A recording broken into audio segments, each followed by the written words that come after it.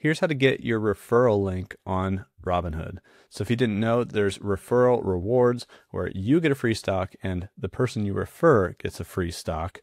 You can actually find your referral link here in the rewards tab. So when we click on that, and that's going to be in your menu on your uh, your app. So if you're on the app right now, it's just in the menu. You'll see rewards.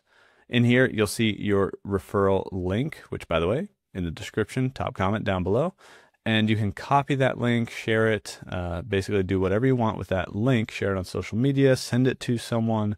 And when they use that link and sign up for Robinhood, you both get a free stock between five and two hundred dollars, I think, or something, something like that.